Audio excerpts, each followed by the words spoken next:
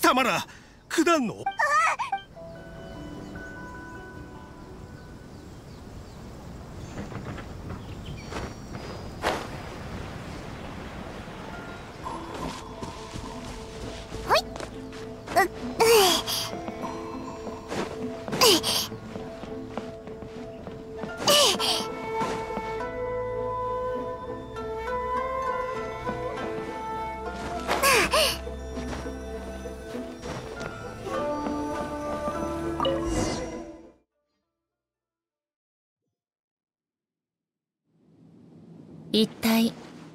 何があなたを再び私のところまで来させたのでしょう。その愚かな勇気は人々をかばうため。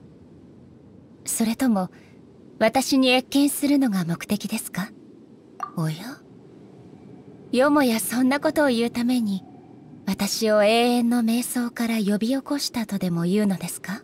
だとすれば私も見くびられたものです。いいえ。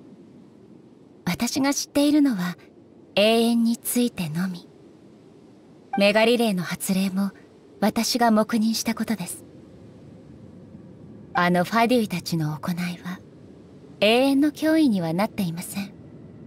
さもなければとっくに粛清していますよ。願いとはもともと永遠にそぐわないものです。あなたはまだ気づいていないかもしれませんが願いを追い求めるというのはたくさんのものを失うことなのです。神の目を接収すること自体は命を奪うことではありません。命を落としたのはむしろ願いを追い求めた者たちではありませんか？旅人さんあなたは確かに特別な存在として私の目に映っています。あなたの身には数えきれないほどの不確定要素があります。言い換えればあなたは永遠から最もかけ離れた存在。であれば私は別にあなたに理解してもらおうとは思いません。あくまでも世のために永遠の道を歩んでいく。そう。そんなことも知っているのですか？まあ別に構いません。大方私の意志を動揺させる隙を探っているのでしょ？うん。いいでしょう。永遠に背くもの。あなたの覚悟を見せてもらいます。願望の膨張は破滅をもたらすでしょ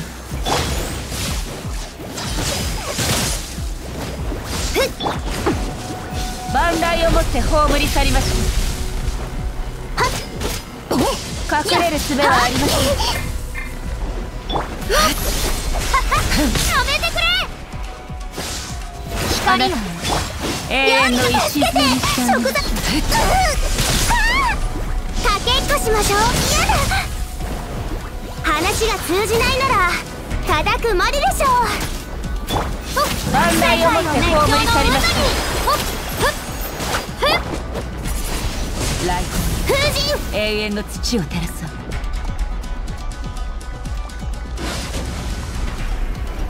かけっこしましょううお助けて食材が落ちされせっ開幕寛大をもって葬り去りました熱々でしょ？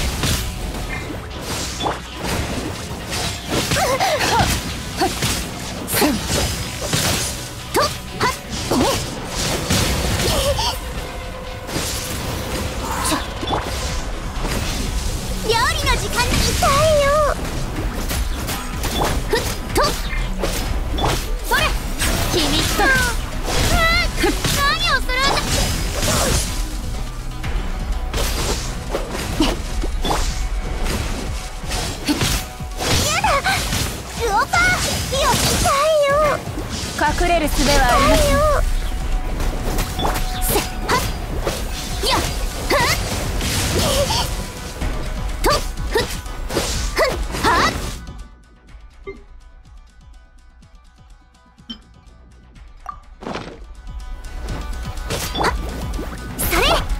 ませんと共に。去る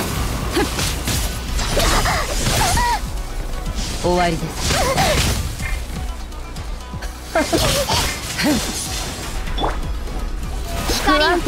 定な要素は取り除く必要があります万来をもって葬り去りましょう。隠れる術はありません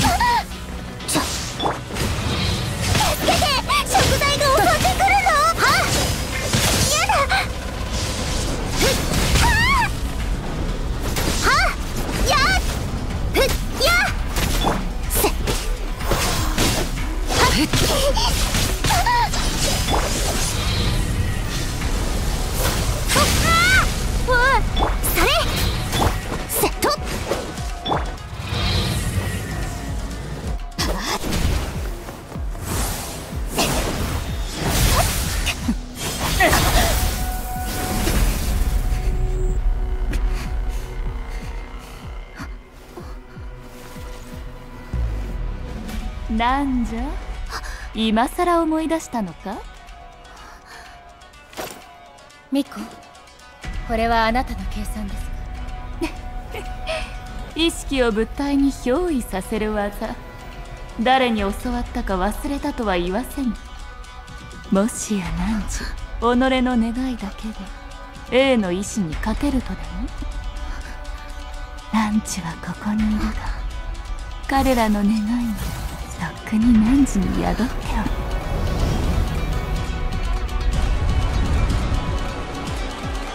じゃから目を閉じるがよ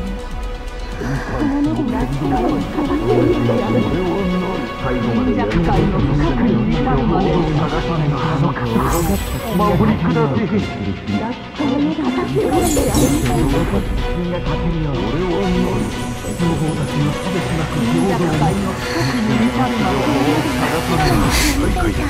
メガリレーを開始してほしいです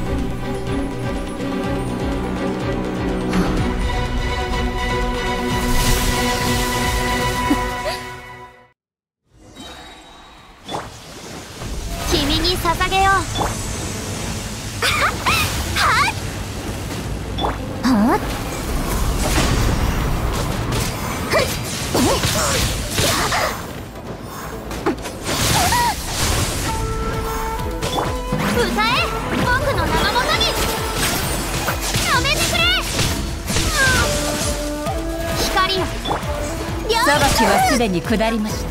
それ。せっふっやこれはまるで影のようはっと。無念無双一刀風と。共に去れ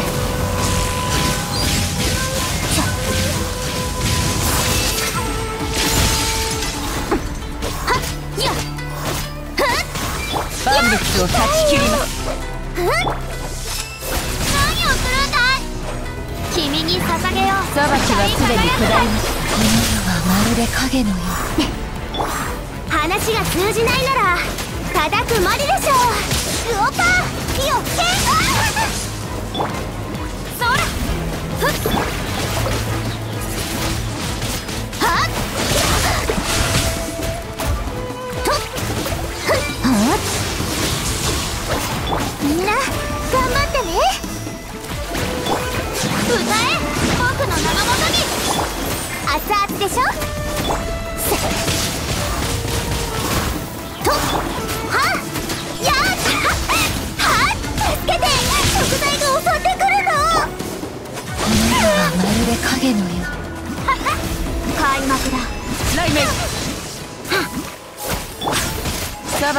すでに下りました。食材がせっ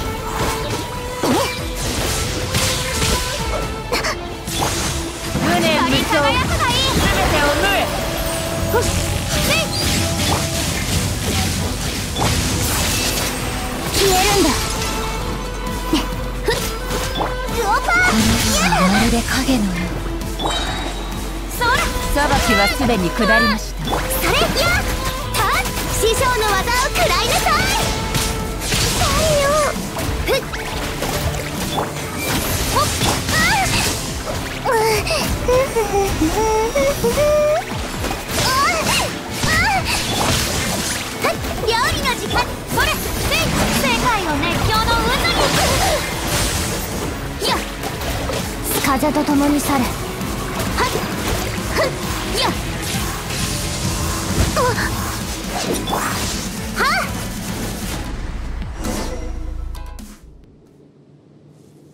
っ。汝の負けじゃえい。私の負けです。どうして自らの民を彼らの願いの力を信じてやれぬのじゃ。あれらの願いは距離や空間さらには時間をも超えすでに何人にも止められぬもの。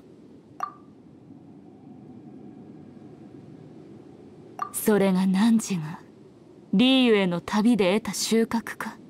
人間が前へ進み神が後ろに置いていかれる国か。しかしてなぜわらわたちがそう自分勝手に前へ進むことを一方的に放棄させることができる？前に進むことで生じた損失をあなたも共に見てきたはずです。永遠。そう。永遠にのみ。雷光がひらめく場所には影ができます。私は影。無双をもって。稲妻の前に立ちふさがる全ての障害を取り除きます。しかし一歩前へ進むたび何かを失っていきました。そして最後には彼女さえも失ったのです。あれらの自責は今もライオンの木陰で語り継がれています。しかし失ったものがこの国に残した烙印は今なお燃え続けています。探しましょう。たとえそれが周囲の光だとしても少なくとも私たちには今があるのですから。彼女はそう言いました。しかし必死に前へ進む国が天理を前にして全てを失ったのを私は見ました。来光を保つためには時を止めるしかないのかもしれません。今とは儚い幻想であり永遠のみが天理に最も近づけるのです。私はもう影ではありません。この身こそ意図尊き存在。天下を太平せし者。臣民に夢を与えると誓いましょう。未来永劫。不変の永遠を天理。わらわにとっては皆目見当もつかぬものじゃ。とにもかくにも汝は自分の愛する稲妻を永遠に守り続けたいだけなんじゃろその言い方はあまりにも軽薄です。しかしこの国は果たして永遠に存在する価値のあるものなんじゃろうか？願いを失い変化を失いただ存在するだけの国。そんなものは抜け殻に過ぎぬ。であれば滅んでも問題はないじゃろう？ミコその妄言を撤回してください。未来永劫変わることのない永遠。私が親民に誓った約束です。しかし汝の親民が必要としているのは汝の約束などではなく汝の眼差しじゃ。神の目ですか。人の寿命は100年のみ。彼らに過去を背負えるほどの力はありません。私は全てを経験したからこそ彼らを正しい永遠へと導くことを選んだのです、はあじゃが永遠は汝にとってあまりにも残酷すぎるぞ。ヘイ私？汝は属性の者どもに目を向けぬようになっただけでなく己すら見つめることをやめた。何百年もの間ここで一人。寂しかったじゃろう。しかしこれは必要なことで。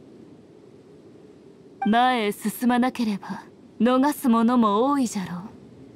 ここで永遠にとどまる汝も失い続けていると言えるのではないか。そんな孤独に耐えながらその時間軸を永遠のために無限まで伸ばすなんぞ。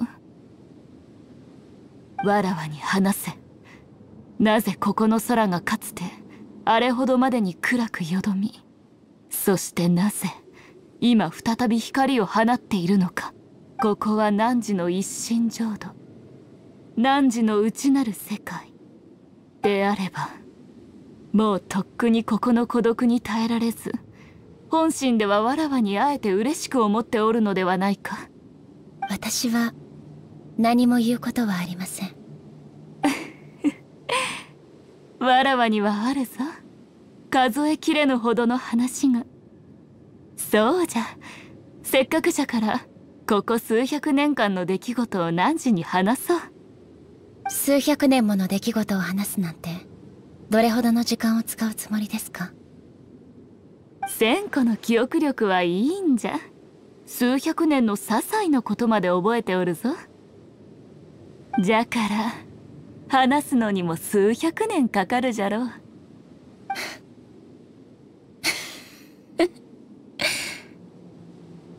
ミコ実はもうこうして会うことは二度とないと思っていました。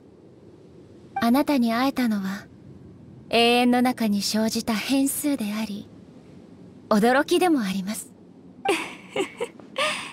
やっと素直に認めおったか。なら引き続き友でいてやってもいいぞ。まったく。子供じみた会話ですね。ですがあなたたちの計画に負けたからにはあなたたちの意志に従ってメガリレーを廃止しましょう。しかし永遠についてこの国が果たして前へ進むべきかどうかについては再び考える必要があります。最初から最後まで子供じみていたのは汝の方じゃったな。その後ライデン将軍はメガリレーを廃止した。人々の願いはあやつの閉ざされた心の扉を開けたんじゃ。一心浄土以外にあやつは人々の目に永遠を見た。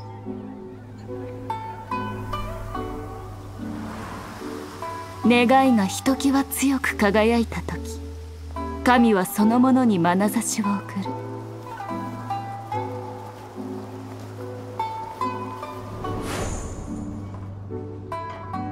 ある願いは痛みを拭い正気をもたらし希望を呼び起こす。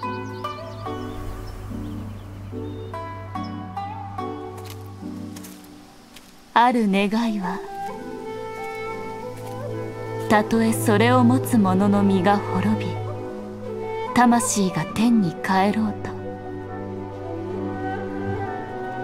生まれた時と変わらず。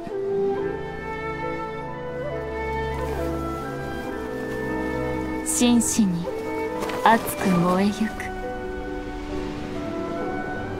そう。永遠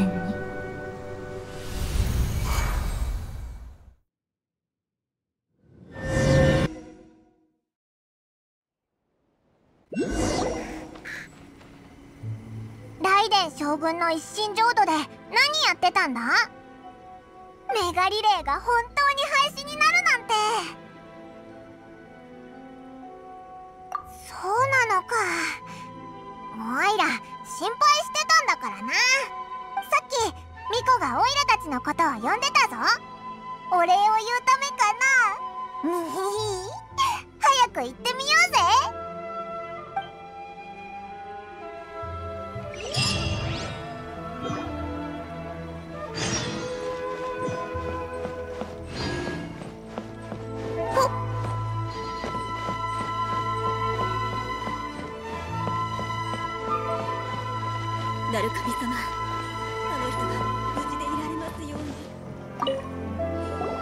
これはこれは名誉の凱旋を果たした旅人ではないか。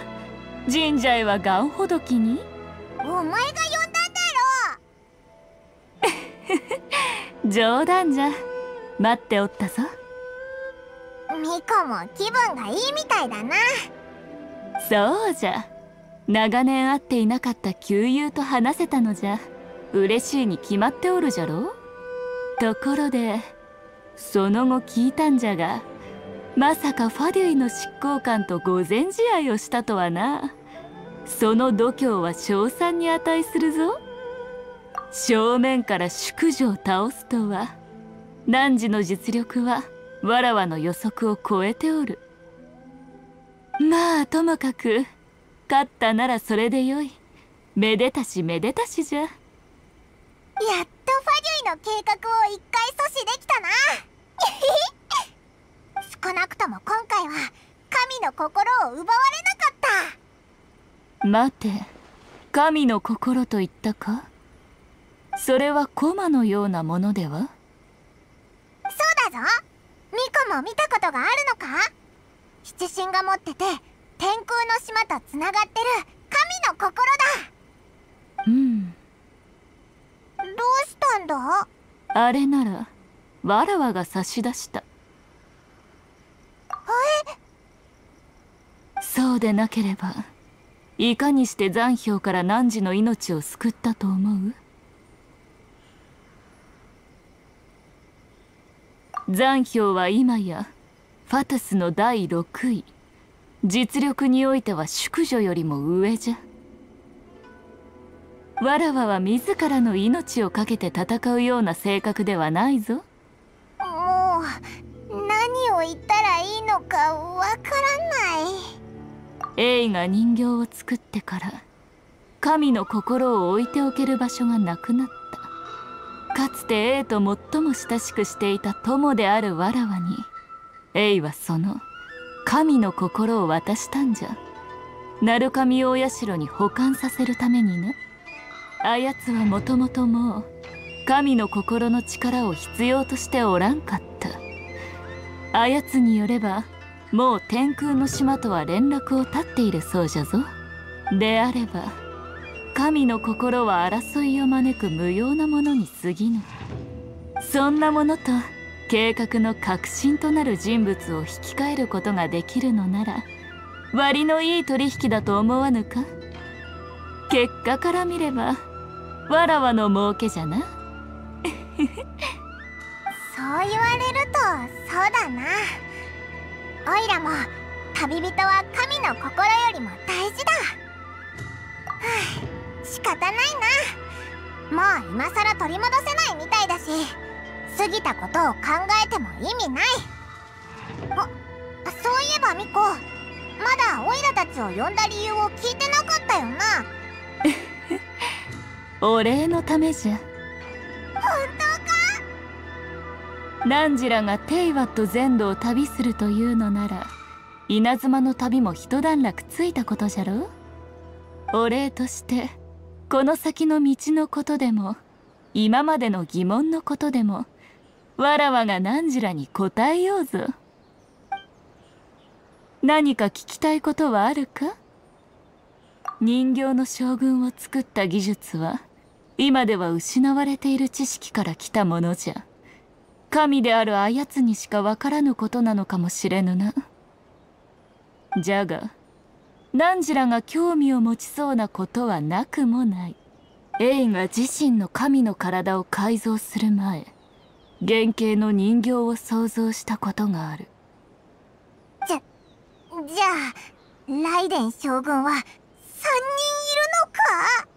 いいやあの原型はただ実現性を確認するためのもので見た目も知能もエイ自身を設計に作られたものではない。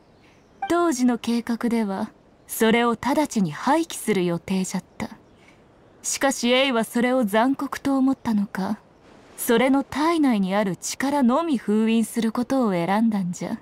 その後あれはただの人のように己の意志を頼りに稲妻の土地をさまよい続けた。ファデュファデュイそしてその原型の人形はファデュイたちに調整され力の封印が解かれたんじゃ。いや封印前よりも強大になっているかもしれぬな。うむ。神の造物であり神の心を奪ったもの。原型の人形とは残氷のことじゃ。そそんなことがあったなんて。そうじゃな。偶然と言うべきか。運命と言うべきか。汝のような異教の者が雷神が変わったことを知っているとはな。稲妻の民ですらめったに知られておらぬことじゃ。ショーあモラクスが言ってたんだ雷神バールが亡くなったって。うむ。じゃが事実を言えばバールとバールゼブルは創世の魔人なんじゃ。創世の魔人？彼女らは力を合わせて魔人戦争に勝利しバールが幕府を設立した後バールゼブルはバールのおそばとして影武者となったバールゼブルは汝らも知っているあのエイじゃそしてバールは名を誠という。世間からすれば両者は常に一体の存在で互いを補い合い共に稲妻を治めてきた。よって人々が真相を知る必要もなかったんじゃ。魔人バールの名であれライデン将軍の肩書きであれ常に両者を指すものとみなされていた。あの時までは。あの時？数百年前わらわが参加しなかった戦争で誠が死んでからエイが表舞台に出るようになったんじゃ。エイもショックだっただろうな。姉妹だから。エイが変わったのもあの時からじゃ。あやつが失ったものの中で一番大きかったのじゃろ。そんなことがあったのか。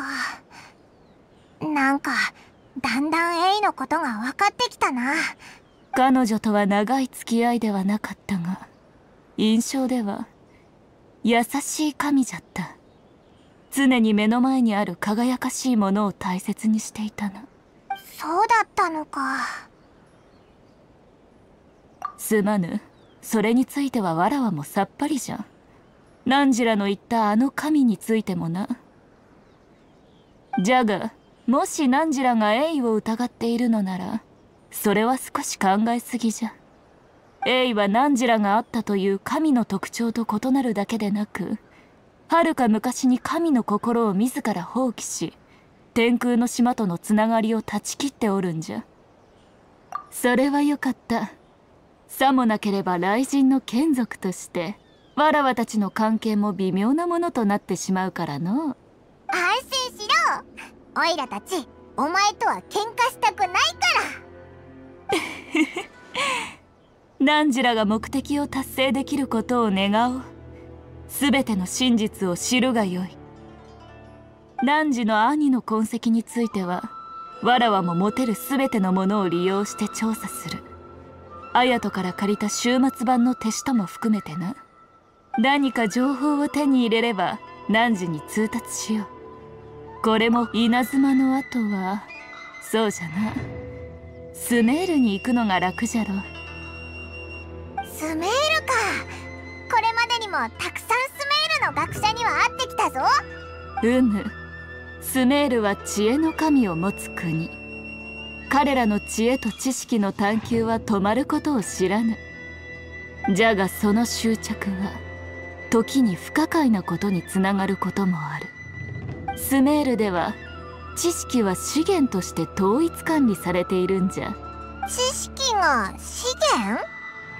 うむじゃがその決断をしたのが賢者たちか。